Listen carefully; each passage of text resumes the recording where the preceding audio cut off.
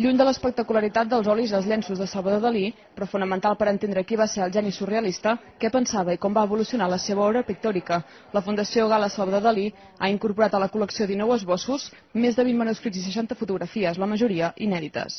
Quan Dalí entra al grup surrealista el, el revitalitza, vi ple d'energia, noves idees...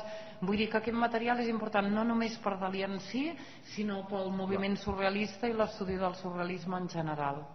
Entre fotografies de carnet de gala i Dalí o del geni surrealista en Lluís Buñuel a la platja, també hi ha esbossos d'idees que ballaven pel cap a l'artista i que després es van convertir en obres d'art reconegudes internacionalment. Molt sovint són la xispa o una mica la, el brot que, que provoca la, la, la creació final.